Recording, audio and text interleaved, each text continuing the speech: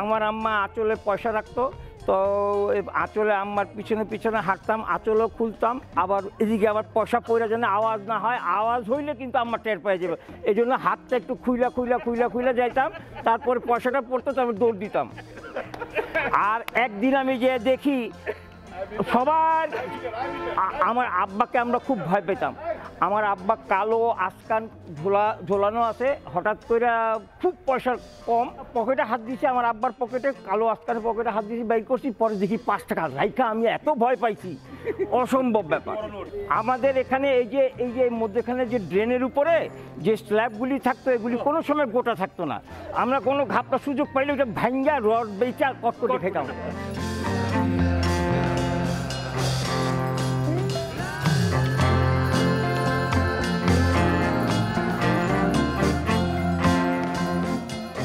আমি আরও মজার জিনিস যেটা হতো যে, ওই যে বাতিল, আমার বাচ্চারা অনেক ওই যে কোক টোক এগুলো খেত, ছোট বাচ্চারা যা করে। ওগুলোর অনেক পানির বোতল এগুলো জমা হতো। ওগুলো দিয়ে তখন পেঁয়াজ দিয়ে যেত। ওগুলো আমি ফেলার জায়গা পেতাম না। আরও মজার ব্যাপার হচ্ছে যে ওরা নিয়ে যেত, আমাকে পেঁয়াজ দিয়ে যেত। আমি এই মজার, মজাটা আর কোথাও কখনো পাইনি। আমার পেছনে দোতলার বারান্দাটা দেখা যাচ্ছে। এখান, এটা আমার একটা চরম স্মৃতি। নিচে হলো একটা গ্রিল ছিল, যেটা আমি কেটে এই দিক দিয়ে নেমে যেতাম। এখানে একটা পাইপ আছে এটা বেয়ে বেয়ে নেমে যে পালাই এখানে আসতাম খেল খেলতে। এটা আমার খেলার স্পট। সব সময়ের জন্য আমি স্কুল থেকে এসে ব্যাগটা ছুঁড়ে ফেলেই এখানে চলে আসতাম।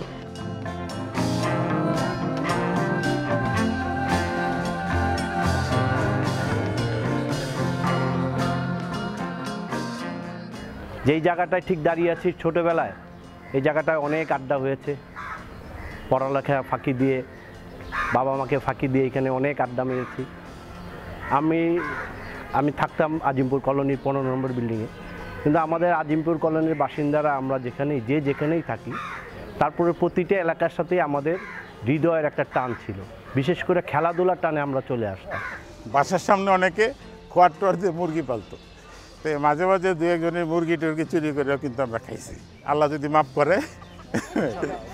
তবে আমরা মনে করি আল্লাহ মাফ করবে। এই কারণে কারণ যে বাসার মুরগি চুরি করতাম ওই বাসার যে ছিল আমাদের বন্ধু তাকে আগে দাওয়াত দেখা হইতো। ঈদের সময় আমাদের সবচেয়ে মজা হতো ঈদের সময় প্রত্যেকটা বাসায় আমরা ঈদের সময় যেতাম সব বাসায় যে আমরা মানে খালাম্মারা আমাদের নিজের ছেলের মতো মনে করতো। সেইভাবেই একদম কোনো কোনো বাসা বাদ ছিল না আমাদের।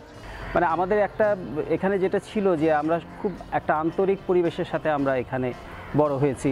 একটা আন্তরিকতা একটা পুরো মৌচাক ক্যাম্পাসটাই ছিল আমাদের একটা পরিবার। এবং এটা দুটো গেট ছিল, একটা পশ্চিম দিকে, একটা পূর্ব দিকে।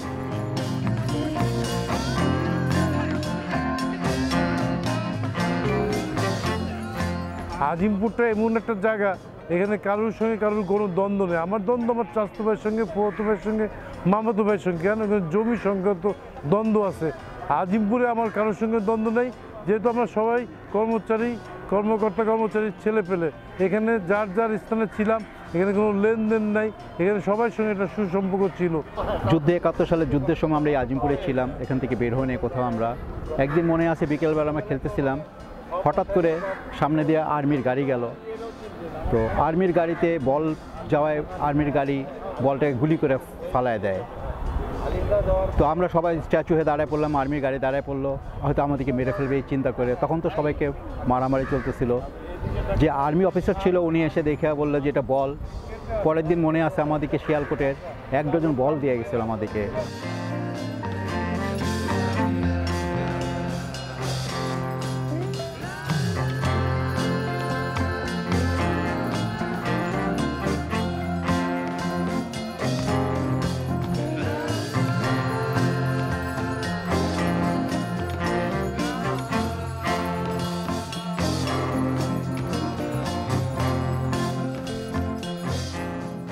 যেদিন আব্বা মারা যায়, সেদিন আমি ভোরবেলা উঠে ম্যাটার্নিটিতে গিয়েছিলাম ফুল আনতে। শীতকাল ছিল তো, ডিসেম্বরের ষোলো তারিখ। শীতকাল ছিল, শিউলি ফুল আনতে, এরকম জামার মধ্যে নিয়েছি। তো আমার একটা ফ্রেন্ড ছিল তিনতলায়, আমার তিনতলায় রিনি। ও রিনি দৌড়ায় এসে আমাকে বলছে, শিমু, তোমার আব্বা মারা গেছে। তখন আমি ফুলগুলো ফেলে দিছি, জামা থেকে। ফেলে দিয়ে দৌড়ায় বাসে এসেছি, এসে দেখতেছি হ্যাঁ আমার আব্বা মারা গেছে। এটাই।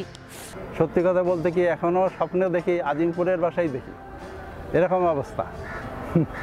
এবং সব ছোটবেলার খেলার সাথে অনেকেই অনেক দূরে আছে। আবার অনেকের ইয়ে শুনলাম যে অনেকে পৃথিবী ছেড়ে চলে গেছে। এগুলো খুবই দুঃখজনক। কিন্তু এটা তো বাস্তব, এটা মেনে নিতেই হয়।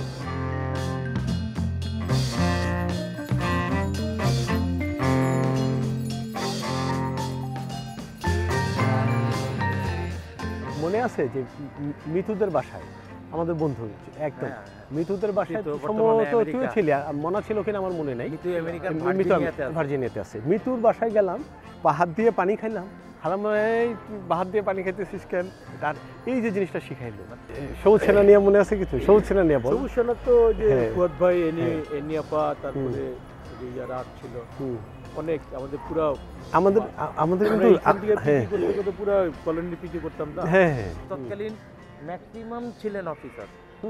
সবাই এটা কোয়ার্টারই ছিল অফিসার কোয়ার্টার তো এখন মানে ওই সময় প্রত্যেকেই যে যে মানে আমাদেরকে যখনই যদি কোনো কিছু দেখতে বাবা এটা এইভাবে করো না ওভাবে করো। হ্যাঁ।